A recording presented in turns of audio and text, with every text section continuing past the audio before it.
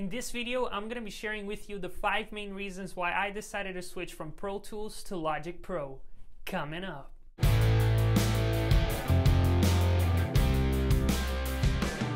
Welcome to the Home Studio Academy, everybody. My name is Nolan Freitas, and today I'm going to be sharing with you some of the reasons why I switched from Pro Tools to Logic Pro after being a Pro Tools user for so many years. Reason number one, and the biggest factor in making this decision, is the cost.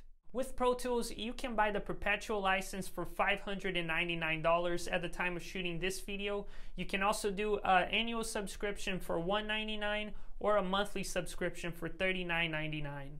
If you're like me and you sign up for the monthly subscription, you're going to be paying every year $480. On the other end, with Logic Pro, you get a 30 day free trial to try it out. And if you choose to purchase the software, it's a one time fee of $199. So to me, this was a no brainer. It doesn't make any sense to me to keep paying for something for the rest of my life. Now, you're probably asking yourself, okay, what if I buy the full version of Pro Tools? Which brings us to reason number two, and that is unlimited updates with Logic Pro.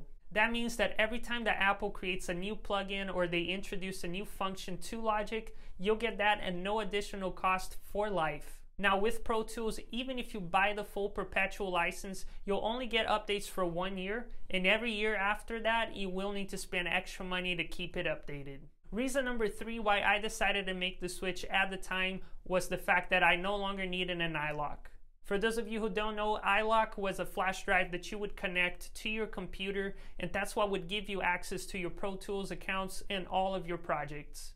And if you were to ever forget that flash drive, let's say you know you misplaced it and it wasn't in your bag when you got to the session, you would basically waste the entire day because you didn't have it with you.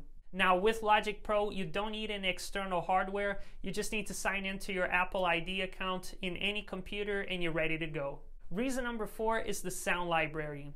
After having the opportunity to record in many professional studios, I found that most pros use external plugins to emulate whatever sounds they're looking for. This means that they use Waves, UAD, Guitar Rig, iZotope, and many others to emulate the sounds that they're going for.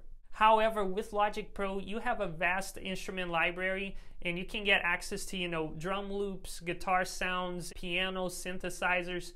And I'm not saying that every single sound there is amazing, but compared to Pro Tools, it definitely blows it out of the water. The next reason why I decided to switch, and I know that this is very subjective, but it's the aesthetics and customization tools in my humble opinion, I do feel like Pro Tools is just very outdated and it looks very clunky. Now with Logic Pro, since it is designed by Apple, it has that modern look and feel to it. I find it very user friendly and I like the color scheme and how, you know, easy it is to customize all of your tracks. I love adding icons and that really helps me keep all my sessions organized. If you decided to make the switch over to Logic Pro, I have made a video that will walk you through all the basics on how to get started in less than 12 minutes, so go check that out.